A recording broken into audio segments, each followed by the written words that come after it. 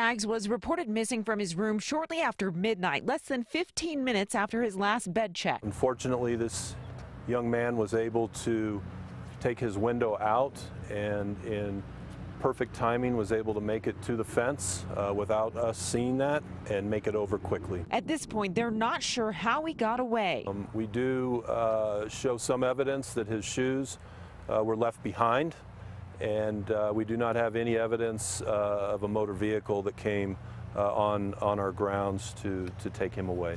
Just like we saw with the last escapee in May, authorities believe he used bed sheets to get over the fence. These are pictures of that previous incident.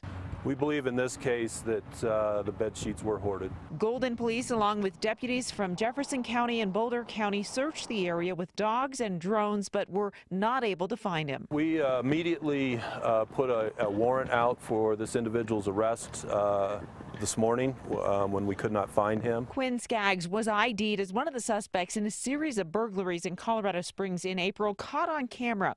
He was taken to Lookout Mountain Youth Services Center after he was convicted of possession of a handgun. Authorities describe him as a violent offender. And Quinn Skaggs is described as six feet two inches tall, about 160 pounds, with blonde hair and blue eyes. He does have the word loyalty uh, tattooed above his right eye. If you see him, you're asked to call 911 and do not approach him. Reporting live from Golden, Deborah Takahara, Fox 31. Yeah, hard to miss.